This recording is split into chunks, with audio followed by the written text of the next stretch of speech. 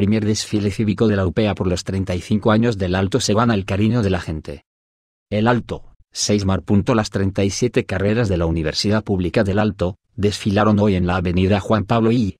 Desde tempranas horas el desfile parchó desde la altura Chacaltaya, liderado por el rector Freddy Medrano y vicerrector Carlos Condori, con el único objetivo de demostrar civismo y compromiso con la urbe alteña.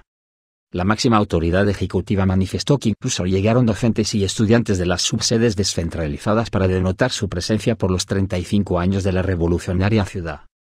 El Alto siempre ha colocado a los mártires y toda Bolivia se ha beneficiado con los cambios ganados, resaltó el rector Freddy Medrano quien a su vez convocó a las organizaciones alteñas a la unidad y conciliación. El escenario principal fue instalado en los exteriores del edificio emblemático, amenizado por la banda Real Matador quienes interpretaron el himno El Alto y el himno nacional, reflejando un cariño enorme a la UPEA y su gente.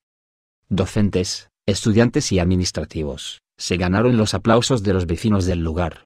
Rector y vicerrector, quedaron satisfechos con el primer desfile y lo catalogaron como histórico, siendo la primera vez que la universidad realiza un evento de estas características. Los futuros galenos de la carrera de medicina desfilaron luciendo guardapolvos. Incluso la carrera de tecnología y mecánica dental, ingresó en su primer año de funcionamiento.